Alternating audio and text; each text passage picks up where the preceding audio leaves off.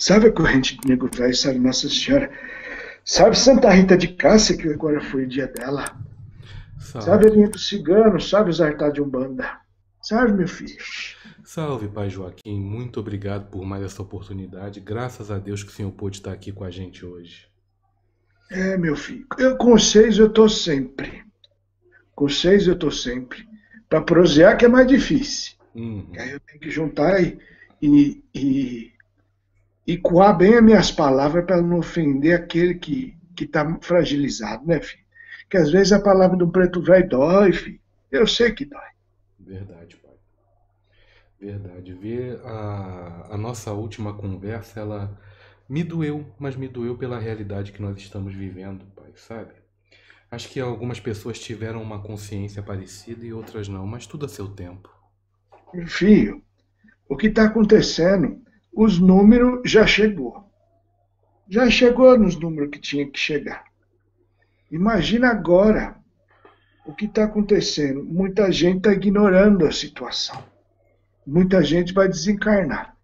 O trabalhador que precisa sair para trabalhar, Deus está protegendo, filho.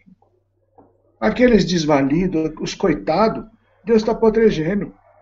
Está tendo a força, a espiritualidade está acompanhando aquele, aquele que necessita. Quando é possível, tá, você pode estar tá no meio de um monte de gente empesteada, mas se você tiver firmeza em Deus e proteção, e você usar todas as suas coisas que você precisa usar, que você está usando agora, não, não vai pegar nada, não. É a fé que vai ajudar. Agora tem uns, meu filho, que é teimoso. E eu vou falar uma coisa, já vou começar a, a puxar a orelha de alguns sacerdotes que estão tá abrindo os trabalhos de, de um bando candomblé, viu, filho? Eu sei que agora vocês não estão aguentando esperar, mas tem muitos, muito terreiro que está abrindo os trabalhos. Aí depois um vai pegar doença e vai desculpar de quem? Aí eu vou falar uma coisa para você. Filho, quando a pessoa ela, ela tem o tempo dela de existência na vida.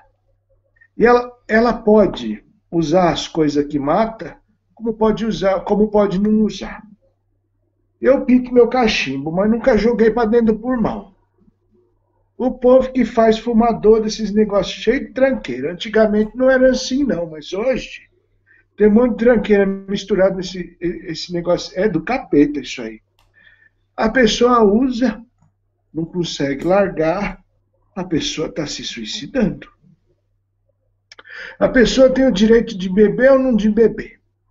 Ela pode seguir uma, uma coisa, beber uma pinguinha para esquentar no, no, no São João, filho. Outra coisa é ser escravo daquilo.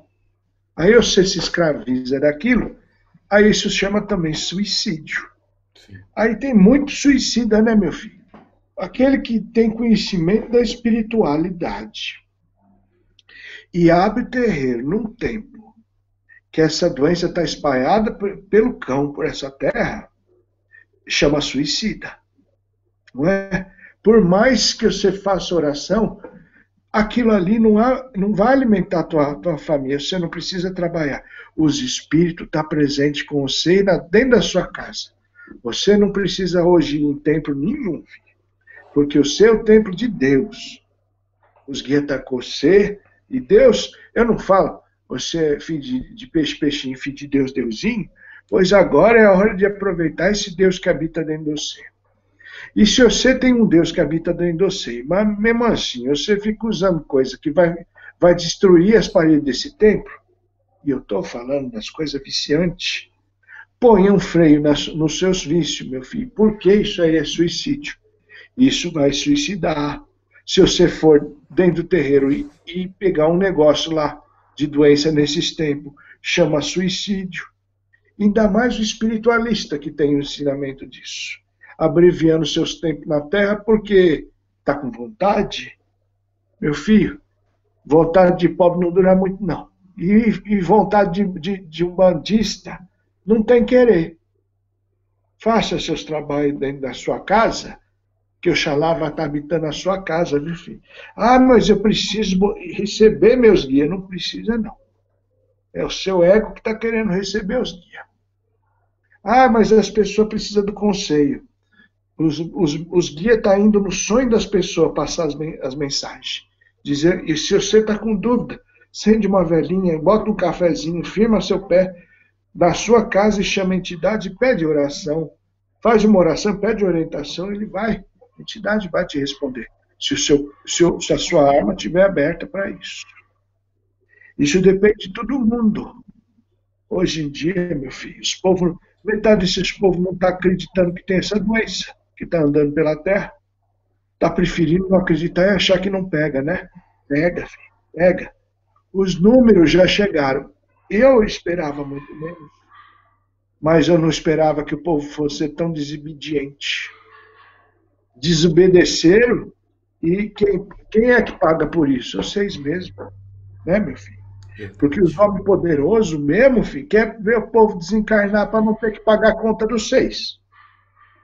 Os poderosos, filho, quando você fica velho, o, os governantes não têm que desembolsar dinheiro para poder sustentar o fê. Uhum. Eles querem mais é, é dizer que, que não quer gastar o dinheiro deles. Que na verdade é dinheiro de vocês. Não é, meu filho? Verdade. Muito cuidado com, com o governante quando ele, ele chora falando que está com pena, porque muitos governantes estão tá com pena de nada. Onde tem gente demais, eles querem ter gente de menos. Mas a cura está chegando, filho. a cura está chegando. Vocês vão, esses tempos vai passar. Eu só queria que todo mundo aprendesse. Desses povos, acho que metade está aprendendo só. Infelizmente. Mas vamos lá, meu filho, o que, que você quer falar? Oh, meu pai, é, eu gostaria que o senhor repetisse aquela simpatia do, do pó de barata para algumas pessoas que estão passando problema com alcoolismo. A gente pode começar assim? Pode. Mas isso é, é você vai fazer para os outros quando a pessoa é simpatia, né, filho? Uhum. Você faz uma barata, é nojento. Você vai torrar no fogo, fazer um pó bem fino e joga na bebida da pessoa. É, é só difícil quando a pessoa toma bebida clarinha, né, filho? Hum. Mas tem gente que pode temperar a bebida, não é? Pode hum. jogar um sal, uma pimenta. Joga um sal, uma pimenta na cerveja da pessoa e joga um pouco no pó. Aquilo vai, é, vai é, fazer a pessoa começar a largar. Tem muitos outros chá, tem muitas outras coisas que dá livramento de, de vício, mas primeiro tem que trabalhar a cabeça. Sim. Não adianta você querer fazer outra pessoa largar de, de usar se você. O, o, responsável pelo vício é o viciado. Ele precisa se, querer se livrar primeiro. É verdade, pai. Te ajuda, mas ele precisa querer se livrar primeiro. Uhum. Eu tenho auxiliado com o chá do caroço de abacate, mas é, tem pessoas que querem o auxílio e tem pessoas que simplesmente não querem. É, tem gente que gosta do vício. Isso vai abreviar o tempo na Terra, né, meu filho? É verdade. E aí, isso chama o quê? Suicídio, né, filho? É vale, vale do suicida. É vale, vale do suicida. E aí, deixa eu contar uma coisa para você, meu filho. Hoje, quem está se suicidando de forma porque está querendo, porque está indo atrás disso, porque está indo nas festas, porque está indo no meio da, de um monte de gente sem, sem, sem carecer de fazer isso, esses povos sem precisão, se pegar doença, vai para o Vale do Suicida. Porque está antecipando seu tempo na Terra e não precisaram pegar isso. Os trabalhadores, existe uma, uma balança onde você é julgado por Deus, no tribunal da sua própria consciência. Esse Deus dentro de você. Quando você chega de lá de cá, nós vai na tua cara e fala assim: o que você fez estava certo. E muitos não têm nem essa consciência. Então, aquele que não tem consciência vai para o vale do suicida. Esperar ter consciência e enxergar os erros que fez até dar o tempo certo e a experiência certa para poder subir. E, tá, e aí eu falo uma coisa: tem muita gente que. O vale não é um lugar só. A pessoa muitas vezes fica espalhada por aí e hoje a espiritualidade está hoje voltada para poder resgatar as pessoas que estão tá desencarnando da doença, não da timosia. Os povos que tudo espírito teimoso se apega à matéria. E a matéria, vocês não falam que, que a, a quaresma, os espíritos ficam andando pela terra? Uhum. Pois, pois agora não depende de quaresma, não. No mundo todo, a, se você visse, tem muito espírito perambulando, espírito teimoso que não está querendo chegar na luz e está tá sendo encosto. Isso no mundo todo, viu, filho? É um tempo agora de proteção. Quanto mais você está dentro da sua casa se protegendo e rezando, melhor, porque as ruas e as casas de gente teimosa é onde está tendo mais gente é, com desencarnado encostado. Uhum. É, sabe, pai Joaquim, eu gostaria de pedir também que existe uma pessoa que fez um pedido muito específico ao senhor, que hum. por uma questão de uma doença de pele, o, o nome da doença é, é dermatomiosite. E é um problema de pele, eu não sei dizer se eu falar corretamente para dizer se seria alguma coisa parecida com vitiligo, mas aparentemente deixa a pele muito inchada e avermelhada. Hum. O senhor concorda que o sangue de dragão e o óleo de copaíba com a rosa mosqueta auxiliaria no processo? Ajuda porque vai circular, mas primeiro você tem que esfriar você primeiro tem que esfriar essa pele. Essa pele. É, será que isso é tal do, do fogo selvagem? Hum, não saberia dizer, pai. Mas se, se a pele está quente, está inchada, é, algum motivo tem para a pele estar tá inchando. Então, vai ter que beber bastante água. Algum motivo a pele está a pessoa está inchando. É, se, a, se, o problema está sendo nas peles, você tem que esfriar. Você esfria com o quê? Você vai esfriar com, com babosa, o cardo da babosa. Uhum. Você pode, se tiver com inflamação, bota mintruz em cima. É, vocês pensam que o fumo, que o fumo é, é, esquenta, mas ele esfria também quando ele é colocado no arco, com arnica. Uhum. Aquele fuminho que eu já ensinei você. Sim. Bota também. Quando não tiver uma coisa, bota outra e coloca a folha da mamona. Sim. Deixa uma meia hora de uma hora como se fosse um emprasto. Esfriou, midificou, aí sim você vem com, as, com os remédios quentes. Aí esses remédios quentes que você quer, pode usar copaíba, pode usar andiroba, pode usar o que você chama de dragão, é o cardo da dracena, né, filho? Uhum. É o cardo da dracena. Então, o cardo da dracena, os índios usam isso aí para tudo até para espantar mosquito, para cicatrizar, mas não, você não coloca, você coloca um pouco e espalha na pele. Sim, sim, sim. Vai espalhar, porque a pele vai ficar rosada. Sim. Porque se for para fechar uma ferida, você pinga gota. Se for para poder é, é, curar a pele, você espalha ela. E ele vai ajudar a desinflamar, sim. Mas é, muitas vezes o negócio está interno. Aí você tem que tomar algum chá que vai limpar a pele, vai, que vai limpar o sangue. Cavalinha é muito bom porque ela depura o sangue, né, filho? Uhum. Cavalinha. Mas vamos, é, é, é, é o remédio dos antigos, né, filho? Sim, sim. Cavalinha, hoje em dia também as pessoas podem comprar com qualquer loja de erva, qualquer loja de chá que vende ela pronta para fazer o chá já. É. Eu sou do tempo que nós qualquer coisa tomava quina qualquer coisa vinha do figo, né, filho? Uhum. Então, é, é, ou a pessoa está com problema do estômago, ou o problema está sendo na, na, no, no figo. Aí eu era com benzimento que fazia debaixo da figueira, que não podia comer figo. Uhum. Então tinha que tomar o quina. E quina faz, é bom, viu, filho? Quina faz muito bem. Hum. Essa quina que o senhor fala, explica pra gente, pai Joaquim. É uma madeira. É uma madeira que eu, sei, que eu. Essa mesma madeira muitas vezes é usada em té de rapé, viu, filho? Pelos índios. Hum. Aí ela é, tem de tudo: tem de pau-ferro, tem de pau-pereira, tem de ah, pau de. Ah, sim, sim, sim. E essa aqui, ela é usada para. deixa na água dentro de casa e vai tomando aos pouquinhos. Você vê, ela, você vai curando. Tá certo, pai. Poxa, muito obrigado. Tenho, tenho certeza que a, a pessoa que pediu vai ficar muito feliz de escutar sua resposta. Muito obrigado, pai Joaquim. É, eu falo, peço a Deus que, que chegue na cura que ela deseja. Tá certo. Pai Joaquim, eu queria eu... perguntar uma outra coisa para o senhor hoje. É, desse momento que nós estamos passando, nós já sabemos quanto nós precisamos melhorar, buscar para aguardar até que a cura venha e melhorarmos como seres humanos. Tem algumas pessoas que não têm um conhecimento de Umbanda, não têm uma vivência de Umbanda, mas têm uma criação que é muito na base católica.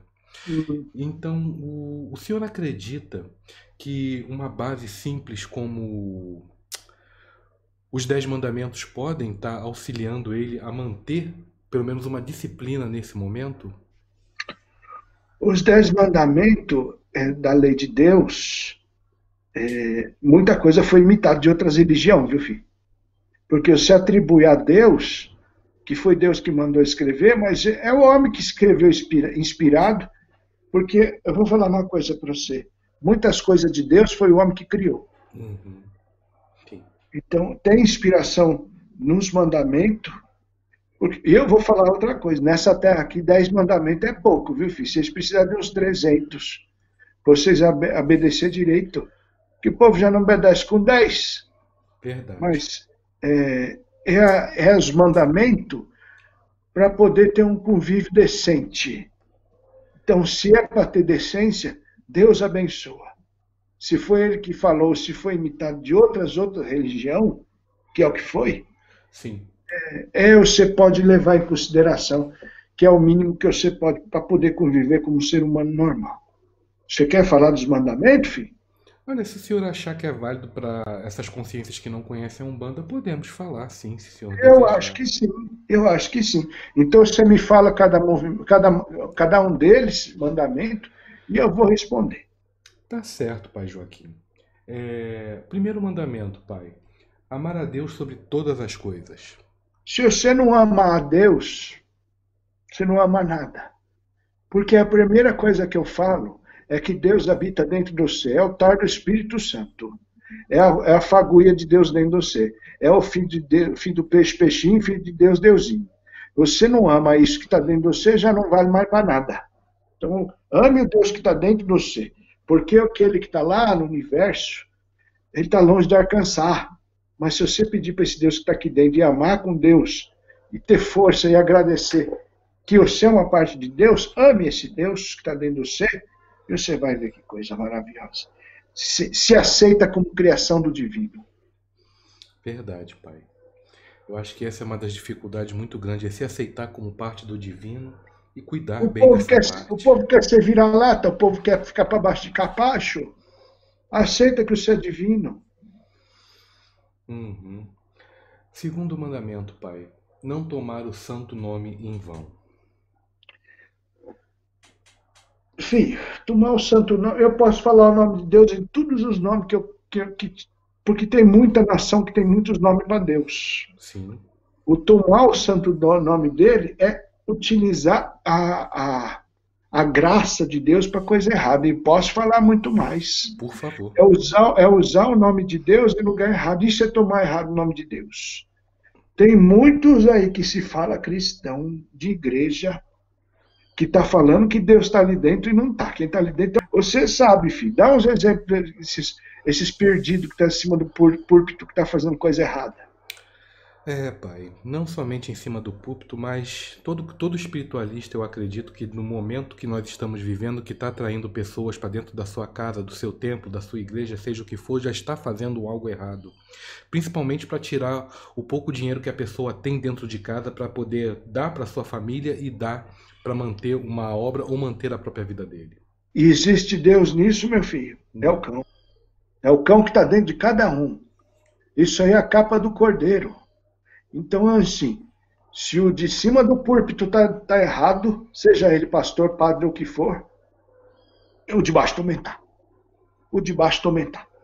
Porque ele está aceitando as palavras do lobo. Não é possível que o povo não perceba que é, tem coisa errada. Então, falar o santo nome, não tomar o santo nome, de, nosso santo nome em vão, é falar que Deus está existindo num lugar onde não está. É verdade.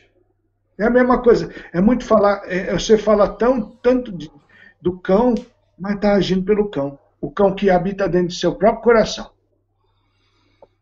Verdade, pai. Infelizmente é uma verdade. Você sabe que já tem gente recebendo o tal do veneno do, do vírus que vocês falam, né, filho? Uhum. Já está baixando por aí. É um espírito. Estão inventando até isso. Oxi. Hum. Vamos, deixa, deixa. Essas pessoas parece que elas precisam é, jogar a culpa, é, justificar uma carência, justificar uma falta de fé raciocinada. Precisa botar a culpa em alguém, não assumir a responsabilidade de seus próprios atos e mudar as ações. Filho, eu defendo o simples, mas eu não defendo o burro. E olha, meu filho, muita gente simples que é muito inteligente e muita gente estudada que é burra. Tem que enxergar onde é que você está sendo burro. É verdade, pai. Mudar ações e atitudes e não se deixar manipular por carência. Hum. Pai, terceiro mandamento: guardar os domingos. Os domingos e os dias santificados, filho. O que for, isso aí serve para todas as nações. É reservar, guardar o domingo significa um dia para Deus. Mas se naquele dia você tem que trabalhar, não faça coisa errada. E o que é coisa errada? É fazer coisa contra Deus. Mas qual Deus? O Deus que habita dentro de você. Então, reserva um dia de oração, mas não, não consegue guardar o dia inteiro? Guarda uns minutos de agradecer e porque às vezes tem dia que não é, guarda o dia do Senhor, porque alguns comemoram Deus no sábado, outros comemoram no domingo, outros comemoram de sexta. É, é para vocês, vocês é mais, é, o bandista é mais sexta, uhum. por causa que é de Oxalá. Então guarda, guarda o dia de, de Deus, no entendimento do Deus que você tem, uns minutinhos para agradecer. É, meu filho? Sim, é verdade. O quarto mandamento: honrar pai e mãe. Isso aí é o que é guardar suas descendências. Tem gente que não sabe nem qual era o nome do avô. Por quê? Porque tem gente que. Isso é dos jovens, né? Os jovens hoje não têm. Eles querem viver o dia do, de hoje. Se você não respeita seu pai e sua mãe, você não vai respeitar o futuro. Então, ah, feliz são as nações que, que valoriza os antigos, meu filho. Feliz é as nações. Aqueles que tratam os velhinhos como se fosse um saco de lixo, ele vai ser tratado como um saco de lixo depois. Porque está na, na, É a moda. É a moda desprezar o velho. Isso é tão errado, meu filho. Então honra o teu pai e tua mãe.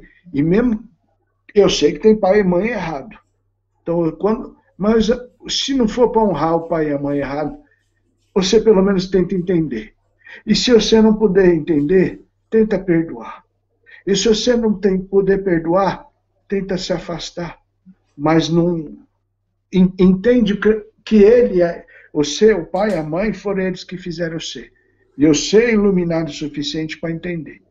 Eu queria que todo pai e toda mãe fosse sagrado.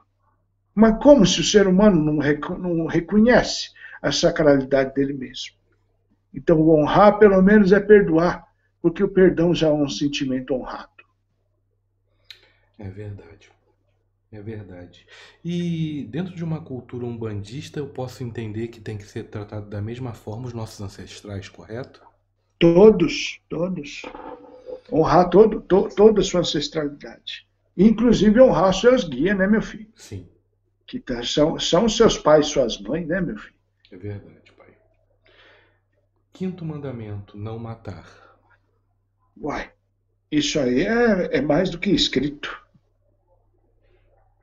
Isso aí, isso aí, carteão, isso aí não, isso aí é pecado capital, né, meu filho? Isso aí não, não pode matar, mas quem ensinou para não matar, mata, viu, filho? Você pode, você pode ver que esse povo que falava não matarás é o mesmo povo que saiu matando. E o próprio Davi não seguiu esse ensinamento. Mas é, não põe fim numa vida que não é sua. Não, não é direito seu tirar o seu, sua vida, mas também não é direito tirar dos outros. Então não matarás. Como falava o próprio Buda, que todos os seres sejam felizes, não é, meu filho? Verdade, pai. É verdade. E é interessante de como algumas pessoas têm, tentam seguir isso, mas se matam, não é mesmo? Hum, é, e aí acaba se matando. É uma infelicidade. Mas... Eu posso entender que se não matarás, não matarás você também. Sim. Porque é o suicídio que é um dos pecados mais pior que tem. É verdade, pai. Eu queria reescrever tudo isso aí. botar tudo nas minhas palavras. Eu falo errado, meu filho, mas eu penso certo, viu, filho? Uhum. E... Os mandamentos do preto velho. Olha, pai, garanto que eu seria um dos seguidores, porque se tem uma coisa que. Todo ensinamento que pode ser utilizado de forma a agregar, a auxiliar na melhoria de evolução, é algo que eu particularmente tento adotar. Eu já ia botar 11, filho. No 11 ia falar, botar café ter preto velho todo dia. Mas isso não precisa nem estar escrito aqui, pelo menos aqui algumas pessoas já sei que já estão fazendo. O povo gosta de Deus, filho. O povo está colocando muito café. Se você dá uma lembrancinha no preto velho, muitas vezes até o seu preto velho que te acompanha uhum. vai receber aquilo. Com certeza, pai. E é bom o senhor falar isso, que muita gente diz, manda um abraço pro pai Joaquim. É, eu quero falar com o pai Joaquim. Gente, é só pensar no pai Joaquim e fazer uma oração para ele que ele ouve. É, filho. Uhum. É, mas sinta-se abraçado, pai. Tem muita gente que ama o Senhor, que gosta muito dessas palestras que o Senhor vem dar. E eu amo eles com uma força dez vezes mais grande e abraço eles em Cristo. É, sexto mandamento, pai. Não pecar contra a castidade. É. Filho, hoje em dia esse mundo está perdido, não é? Infelizmente, eu, eu vou concordar com o senhor. O, o mundo está perdido. Os povos é mãe de 13 anos. É, é, é, então, assim, faz o que tem que fazer quando existir verdadeiro amor, para não arruinar a vida da pessoa. Não, não, não usa a outra pessoa como objeto. E para ter uma boa, e se acontecer de perder a castidade, para ter uma boa lembrança da pessoa. Faz isso com, com quando fizer, faça com consciência. Não é, meu filho? Verdade. É verdade, pai. Sétimo mandamento, pai, não roubar. Ah, mas isso. Como é que nós vamos fazer com os seus governantes? Hum. Numa terra, coitado vocês, meu filho. Vocês escolheram para nascer numa nação que eu vou lhe falar. Já é uma nação que o povo que veio para cá já era ladrão do lado de lá. Né, meu filho? Não tomar aquilo que não é seu. Não tomar propriedade daquilo que não é seu. E eu não estou falando só de coisa material, filho. Não estou falando de dinheiro, estou falando de intensos pensamento. Não imita os outros. Não, não, não, não pega nada que não seja seu. Produz. E eu falo mais. É, você pode ver que o ladrão, ele depois sempre paga de um jeito ou de outro. Seja numa morte é, antes do tempo, seja numa doença, seja na perda de uma, uma pessoa que ela ama, é, seja no, num hobby. Não é, não, é, não é correto. Viu um negócio lá, não pegue, filho. Não pegue, não é seu. Vai comprar, vai trabalhar, você vai conseguir. Não pega as coisas dos outros, não porque você está pegando uma energia que não é sua. E só a praga que a pessoa vai rogar em cima daquele que catou alguma coisa, meu filho, não vale nem ter pensado em roubar. Verdade, pai. E, eu, e esses outros aí, que vocês, esses roubadores de, de, de colarinho branco aí, cada um vai ter seu destino. Que o mundo dá volta e quando chega do lado de cá tem acerto. Uhum. As pessoas acham que conseguem é, fugir da lei de ação e reação. A pior, vocês acham que vai ser julgado pelo cão, né, filho? Você sabe qual que é o pior julgamento que existe? É aquele que você mesmo é o juiz. Você mesmo vai ser julgado no tribunal da sua própria consciência. É você ver os seus erros e falar: o que que eu fiz? Verdade, e é interessante que o sétimo mandamento, ele também, eu acredito que essa explicação ela também vale para o oitavo, né? Porque lançar um falso testemunho, uma mentira ou se apropriar da mentira de, de outra pessoa. Para mim, a mentira é o pior de todos, meu filho. Mentir é, é, é fartar com a própria honra, é criar coisa. Criar coisa é, é de gente doente, é inventar uma realidade que não existe falar que fez o que não fez. É uma pessoa que não tem confiança, ela não tem o, o bigode dela não vale. é, a mentira é o pior de todos os defeitos. É um deles, né? Eu não gosto dela, não. Verdade. O homem tem que ter palavra. Sim. É uma verdade. A mulher também. O homem e a mulher tem, tem que ter palavra. Não pode mentir.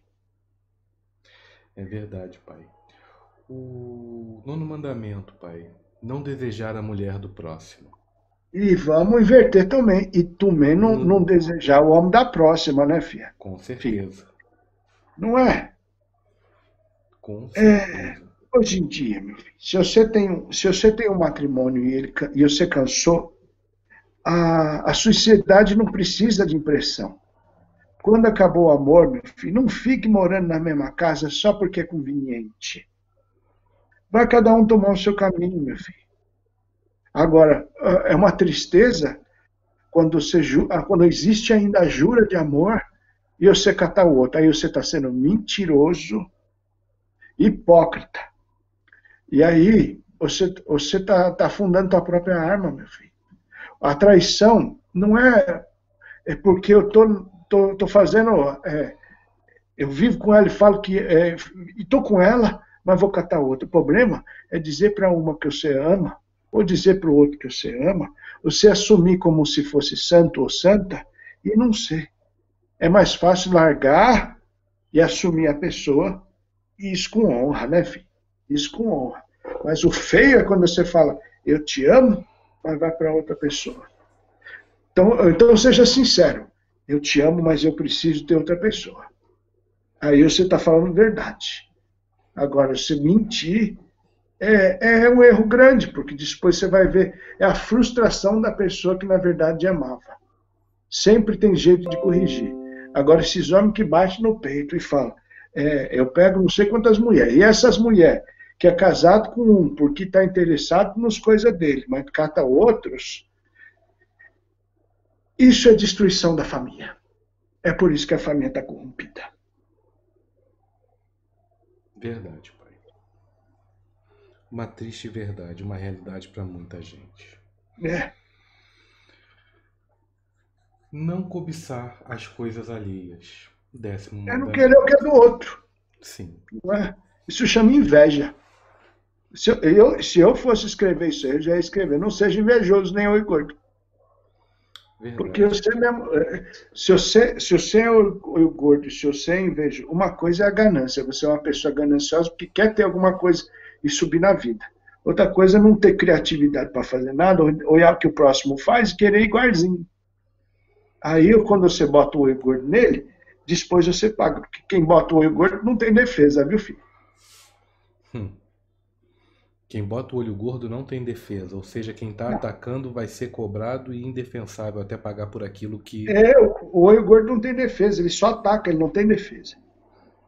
Uhum. E ele é um oi. O oi, o oi, o oi pode ser furado? Não pode, filho? É. Verdade. Verdade. Boa colocação, pai. Meu pai, é, eu gostaria também que o senhor, se possível, agora que nós já falamos dos Dez Mandamentos, é, desse uma, um, nós já falamos sobre isso no outro vídeo, mas eu gostaria que o senhor falasse mais sobre a questão da, de como as pessoas podem estar, tanto pessoas que foram contaminadas com esse vírus, quanto pessoas que não foram, por uma questão de precaução com a questão da alimentação, no consumo da, das verduras, dos legumes, principalmente do inhame, como o senhor falou. O senhor pode falar um pouco disso?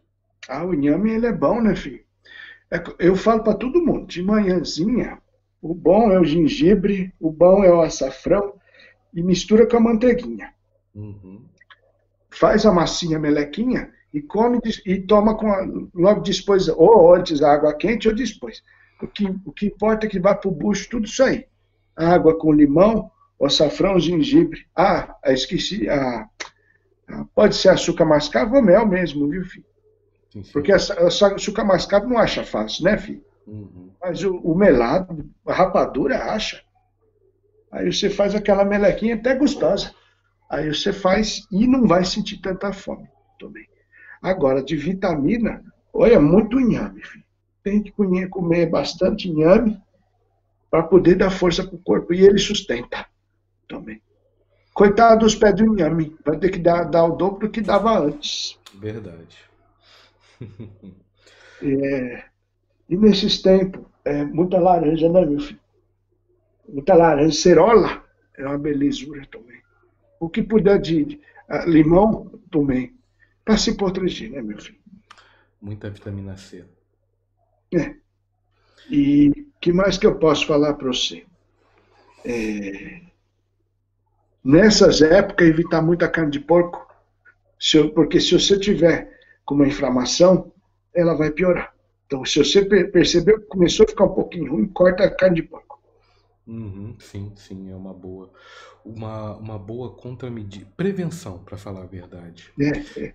O, o pai, pessoas com inflamação é, podem também fazer o consumo natural, o consumo normal da babosa, correto?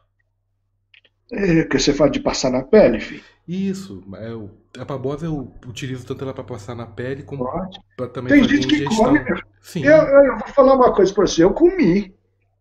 O brotinho daquilo é uma belezura de comer. É, é, tira os espinhos, que não é novinho. Você faz aqui a parma. Não, ah, tem a parma e tem a babosa. Tem o tipo de, de, de babosa que você come os brotos. Uhum. Ah, Eu consumi a mesma parte interna da folha. Tem me auxiliado muito para alguns processos meus e tem ajudado algumas pessoas, por isso que eu quis abordar. Você está comendo? Uhum, É bom. Aqui tem vitamina, filho. sim. É porque, é, digamos, pai, que um, um, um processo que eu faço, que tem, mesmo que ele tenha um, um, um, um peso, uma funcionalidade para mim e para outras pessoas, quando o Senhor fala, a pessoa ela agrega aquilo para a vida dela de uma forma, digamos assim, com mais naturalidade. Ah, mas é.